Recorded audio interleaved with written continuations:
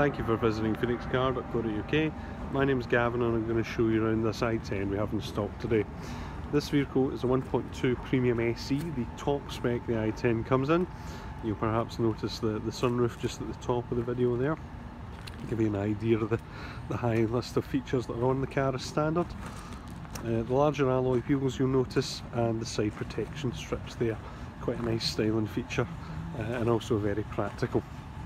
You have as well the chrome door handles which encompass uh, a keyless entry system as well as a push button start which you'll see once we get inside. Boot space there, ample for your day-to-day -day needs.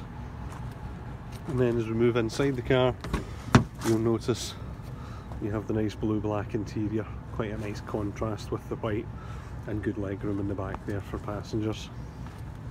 In the main body of the car, I'll show you some of the key features.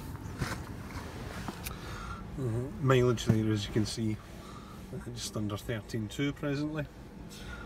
You have Bluetooth cruise control as standard on the vehicle.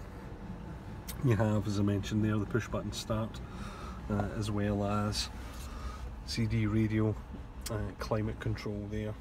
You have also a heated steering wheel uh, and some nice concealed storage space there uh, as well as the, the usual cup holders in the centre console and lastly your sunroof.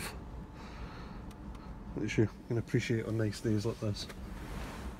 If you have any further questions on this vehicle or indeed any of the other cars that we presently have in stock please don't hesitate to contact myself or another member of the team on 0141 849 5111 thank you